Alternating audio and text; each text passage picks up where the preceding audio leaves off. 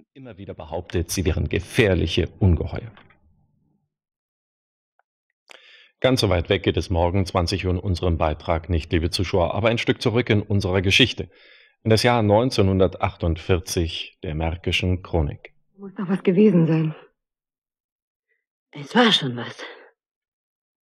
Und das ging schief.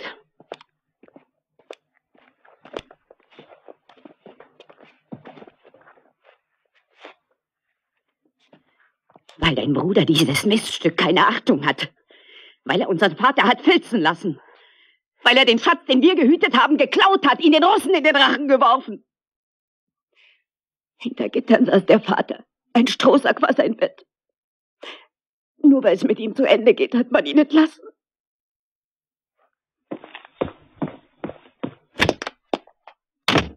War viel? War es viel, was wir verloren? Alles, was sich die Fox vom Munde abgespart haben. Das tolle Geld, so der Titel der morgigen Folge der Märkischen Chronik. Und nun das außenpolitische Magazin Objektiv mit Ulrich Markusch.